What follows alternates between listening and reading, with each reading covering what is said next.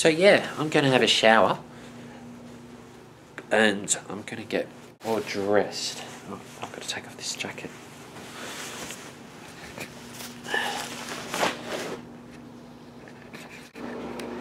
Bye-bye.